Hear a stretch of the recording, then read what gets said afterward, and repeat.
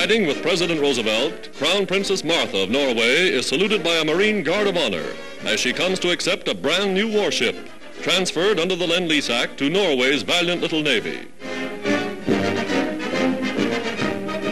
Manned by the prince's own countrymen, the sleek gray craft, now christened King Haakon VII, will sail beneath St. Olaf's Blue Cross of Norway.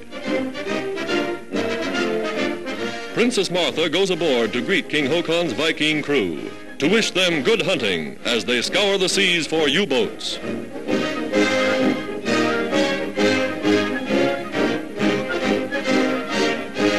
If there is anyone who has any delusion that this war could have been averted, let him look to Norway.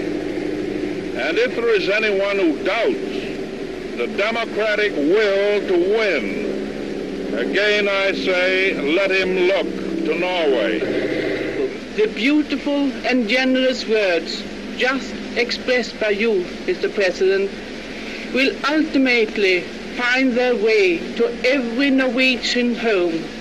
Yes, to everywhere on this globe where Norwegian men and women are praying and working and fighting to regain the free and happy Norway of our deepest